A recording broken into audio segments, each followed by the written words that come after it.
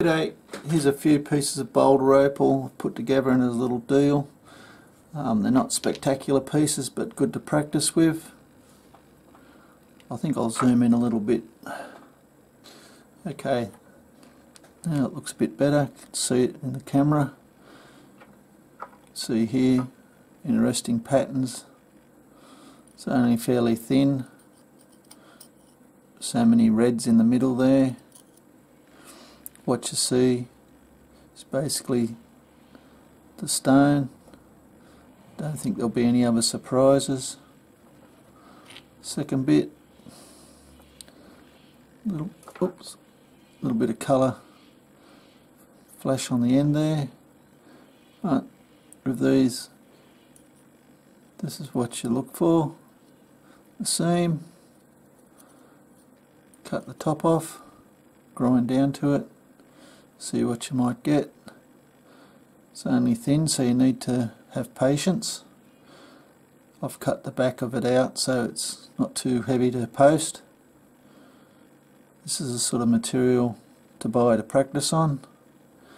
You still might end up with a gemstone but I'm not promising of course, I can't see inside the rock. Here's another piece with quite a, a lot of sparkle. But again it's on top of the stone as you can see. Doesn't go in. It's only a millimetre or so thick. I've cut most of the material off again but here you can see a, a vein coming through from the top. There's some more material on the end so you could cut it off cut that end piece off.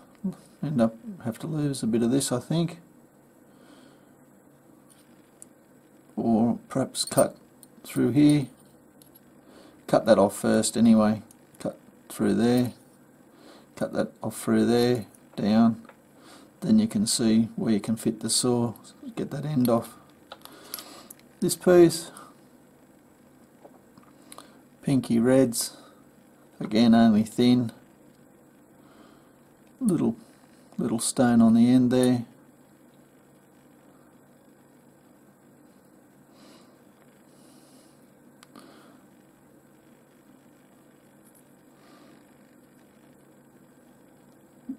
There's a seam going through here. Back up here, it's got some fire there. You can see the red.